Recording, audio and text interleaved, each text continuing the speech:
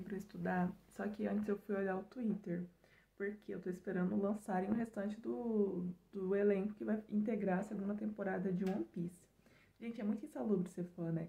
Porque tem uma atriz que fez Bridgerton, esqueci o nome dela agora, que aparentemente ela vai fazer a Princesa Vivi. E aí ela postou, esses tempos atrás, a minha stories com um delineado azul. Aí todo mundo já foi loucura, porque assim, azul é a cor da Vivi. E ontem ela postou de novo, e aí tem altas teorias e fóruns por causa de um delineado azul. A gente se contenta com um pouco, né?